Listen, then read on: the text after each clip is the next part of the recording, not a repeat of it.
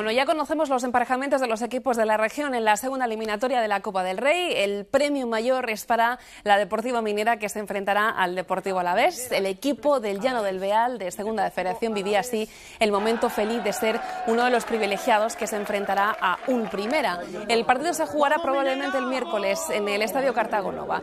Y el Yeclano, por su parte, se verá las caras con el Elche en la Constitución, un emparejamiento atractivo para una buena taquilla. Y el Cartagena, sin embargo, visitará a la Andorra, descendido el año pasado. Los partidos se juegan entre el martes y jueves de la semana que viene. Andorra. Bueno, pues algo histórico. Eh, desde que conseguimos el ascenso, pues sabíamos que iba a ser un día especial. Bueno, haber ganado en Tudela y, haber, y poder vivir este momento de enfrentar a un equipo de primera división pues va a ser algo histórico. Y bueno, con mucha ilusión y con muchas ganas de, de que llegue el momento de jugar contra el Alavés, claro que sí.